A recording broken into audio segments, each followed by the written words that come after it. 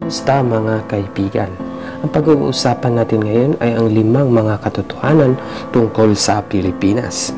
Kung interesante ka sa Pilipinas, dapat mo ring alamin ang fun facts tungkol sa Pilipinas. At bago tayo mag-umpisa sa ating pag-uusapan ngayon, kung hindi ka pa nakapag-subscribe sa channel na ito, please hit the subscribe button and hit the notification bell na rin para updated ka sa mga bago kong upload na mga videos.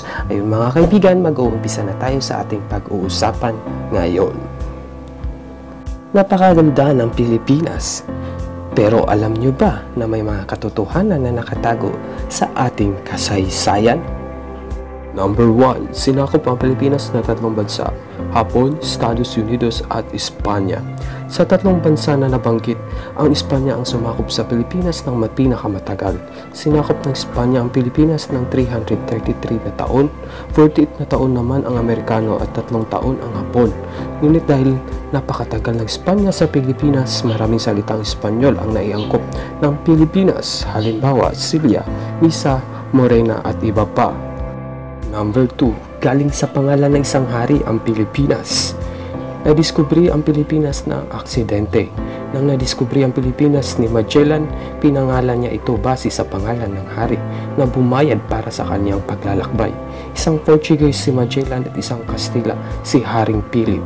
Hindi binayaran ng hari ng Portugal ang paglalakbay ni Magellan kaya pinangalan niya ni Magellan ang bansa base sa hari ng Espanya at hindi sa hari ng Portuguese.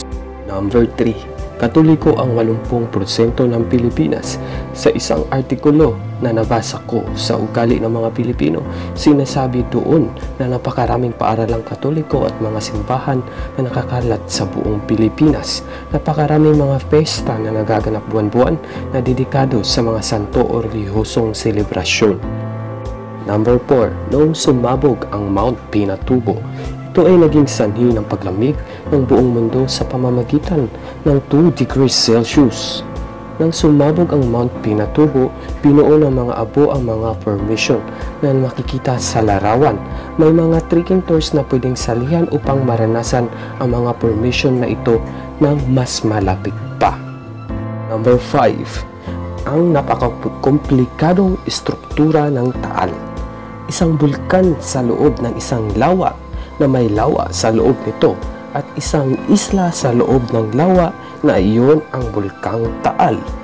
Maraming salamat sa panonood mga kaibigan at kung hindi ka pa nakapag-subscribe sa channel ito, please hit the subscribe button and hit the notification bell na rin po para updated kayo sa mga bago kong upload.